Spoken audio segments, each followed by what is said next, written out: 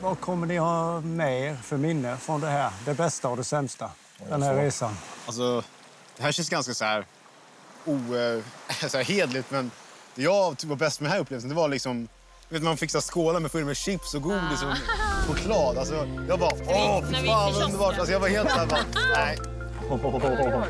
Wow. Oh my god. Så det, var, det var en upplevelse som var helt otrolig. Helt fantastiskt. Jag, jag, jag sitter och försöker tänka på det sämsta. Och jag kom inte på något sämsta. Men det absolut bästa var att jag kom till gränslandet. Och det, är- det är verkligen det bästa. Och Nico Nilsson bor ju här då. Ja. Och jag och Peter bor ju där. Hörde vad tyst det är. Ja. Någonting hände och det blir så jävla påtagligt när man bara är. Och till slut så brast det bara. Och det hade aldrig hänt så om jag inte hade träffat dig.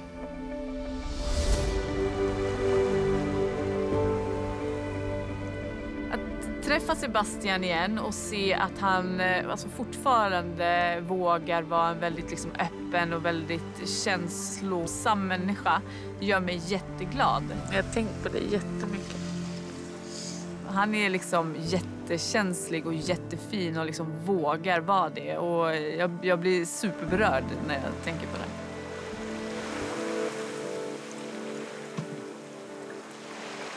Alltså jag har tyckt tävlingarna varit så sjukt roliga. Alltså de var verkligen så här... Men, man har övervunnit så mycket rädslor i tävlingar. Att ligga här under det här gallret under vattnet. Alltså det är min största rädsla att göra det. Men ändå ligger man där i 45 minuter liksom.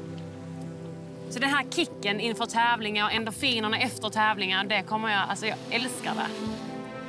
Minns ni den veckan när allting var likadant? Ja, verkligen. Med banan, I got you babe. I got you babe och en brutal tävling. Jag har aldrig sett någon gräva så som du grävde. Du var ju en maskin.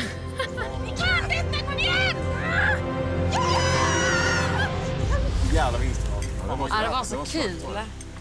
Jag kan säga jag hatar den tävlingen. Jag kommer aldrig mer vilja gräva i mitt liv igen. Men någonstans så har jag någon sån kärlek till den ändå. Ja, men känslan att känna liksom att man gräver. Peter, jag sitter och tittar ner glaset. Jag känner lite vibrationer från, från Nej, jag, jag, gränslandet. jag känner så här att eh, ibland funderar jag på vad fan, jag blir så avundsjuk på er när ni säger om alla dessa tävlingar och grejer. Ibland tänker man sig, vad fan har jag varit egentligen? jag har ju inte varit med ett skit egentligen. Fast jag, det har du. Jo, det har jag ju på så sätt. Men jag är liksom inte... Rent prestationsmässigt så ska han vara hur nöjd som helst. Det han har genomgått är liksom värre än de här tävlingarna som andra har gjort. Jag har varit i gränslandet, jag har varit i utposten.